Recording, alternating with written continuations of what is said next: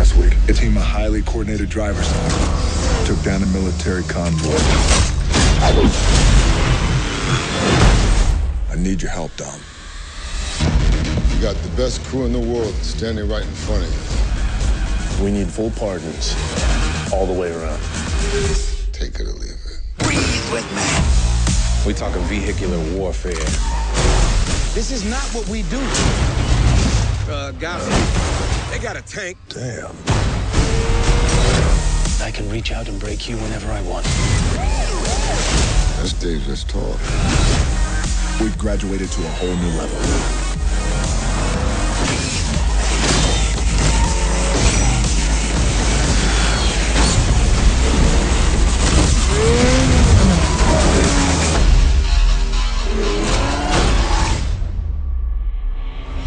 You believe in ghosts?